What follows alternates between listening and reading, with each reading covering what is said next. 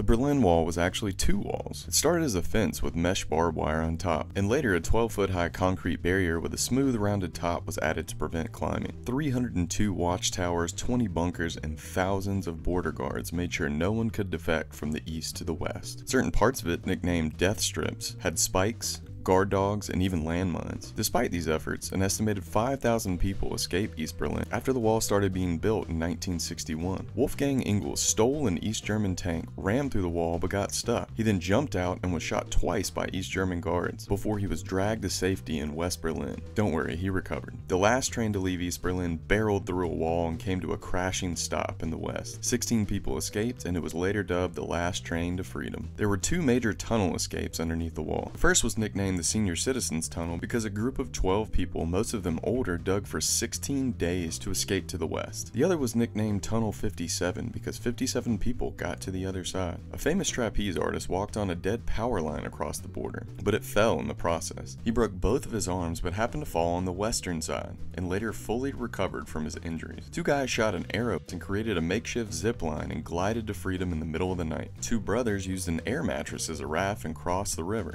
In 1963, 1983, a man took the windshield off his convertible and deflated the tires so that he could fit under the arm of a car barrier and sped off to the west with his bride to be and her mother in the trunk. An 18 year old swam for four hours to escape to the west and then went back to help others. He was eventually caught and spent four years in prison for defecting. Not everyone who tried made it out alive. Around 138 people died while attempting escape. Some people were shot. One woman fell from a four story building as she tried to jump across. And the last recorded death happened when a guy in a hot air balloon crash into some power lines. Once the wall came down, most of the wall was recycled and used for new construction projects, but many of the pieces were auctioned off to the highest bidders and can be found anywhere from the Vatican to a bathroom in Vegas. Part of the wall still remains in Berlin to this day.